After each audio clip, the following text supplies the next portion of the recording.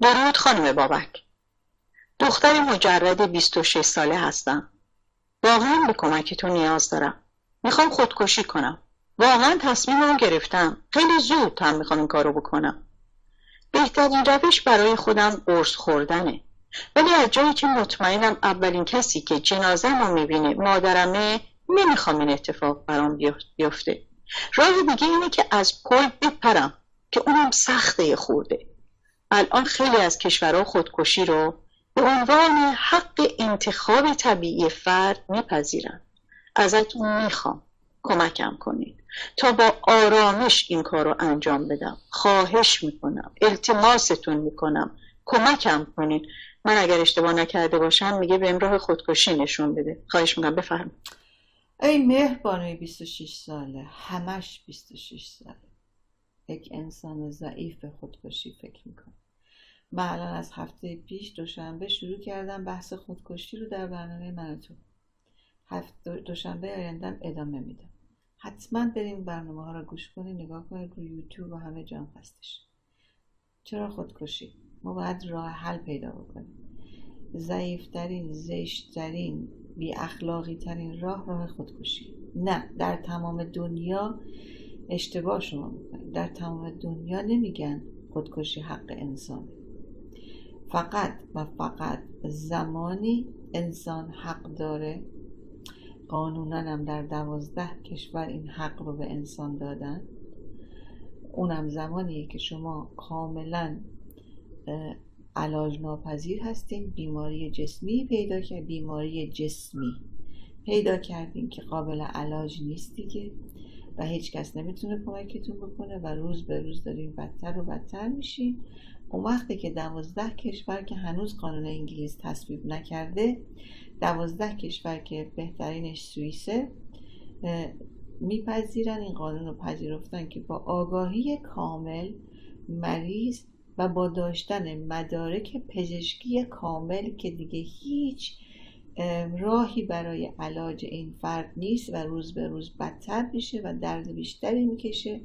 اون وقتی که انسان حق یه همچین مرگ با احترامی رو داره که منم از بچه هم و همینجا هم در رادیو از همه خواهش می‌کنم که اگر من به همچین روزی افتادم با هزینه خودم لطف کنن یه همچین لطفی رو برای من انجام بدن برای اینکه فقط در صورتی که دیگه هیچ راه و علاجی برای من نباشه هیچ امیدی نباشه. برای اینکه من نمی‌خوام زندگی بی مصرفی داشته باشم.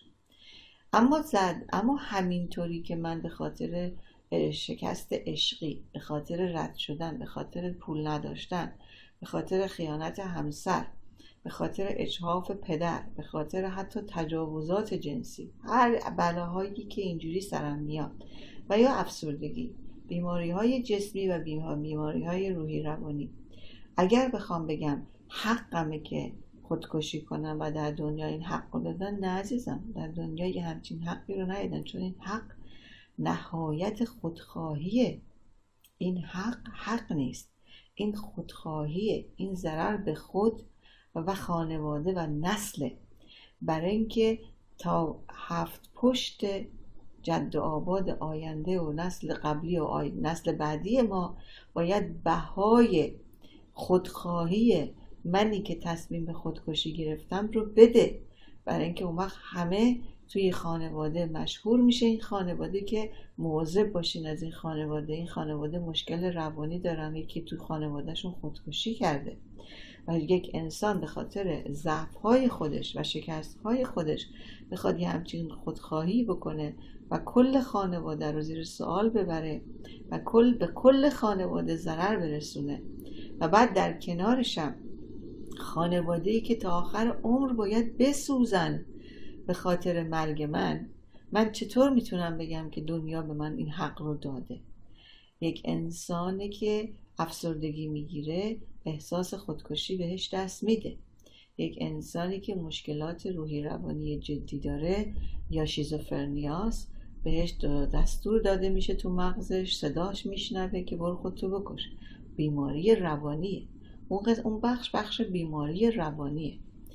پس ما نمی‌تونیم بگیم یک انسان سالم دست به خودکشی می‌زنه زندگی سخته. اصلا کی گفته زندگی آسونه؟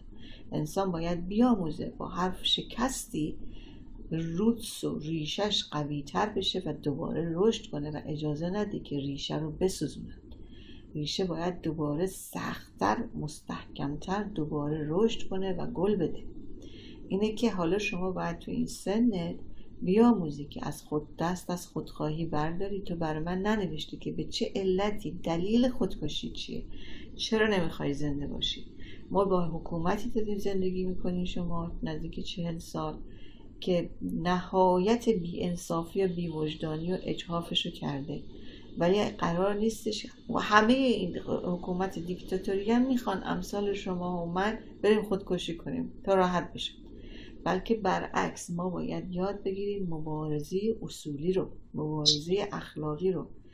تا بتونیم این بهترین روش دشمن شادی شاد زیستن و سالم بودن روح و روان و جسم تا اونجایی که امکان پذیر هست. اینجاست که اون وقت انسان می‌تونه به خودش بباله به خودش افتخار بکنه که با کوچکترین چیزی تصمیم به خودکشی نگیره بلکه آموخت.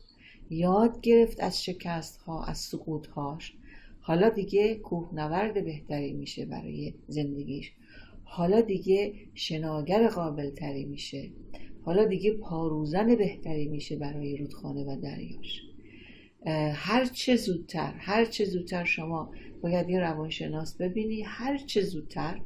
قبل به جای اینکه بگی من می‌خوام هر چه زودتر خودکشی کنم من میگم هر چه زودتر شما یه پزشک ببین پزشک روانشناس ببین شما رو اسس کنه تشخیص بده که چه دارویی احتیاج داری مشکل چیه یا روان درمانی بشی یا دارو درمانی در کنار روان درمانی. به حال اولین کاری که می‌کنی شما باید هر چه زودتر روان پزشک ببینی و یادت باشه از به هر طریقی هم که شما خودکشی بکنی اون مادری که اینجور دلت براش میسوزه تا آخر عمر جگرخون و جگر سوختش می‌کنی. آیا حاضری با خودخواهی خودت؟ عزیز دلت رو تا آخر عمرش که عمرش رو با کار شما کوتاه میشه اینجور داغونش بکنی که بشه یک بیمار جدی روانی و جسمی. یعنی انقدر انسان بعد خودش به خودش فکر کنه بعد که انقدر من خود خواهم که حاضرم دیگران تا آخر عمرشون بیمار بستر روح و روان و جسم بکنن به خاطر اینکه من نمی‌خوام زنده باشم. نه that's not fair به قول انگلیسی ها. این خیلی ظالمانه و غیر عادلانه است. زندگی عادلانه نیست. ما باید زندگی رو تلاش بکنیم براش تا بهتر بکنیم برای خودمون. گود لاک هر چه زودتر خودتو به یه روان پزشک برسون عزیز دلم.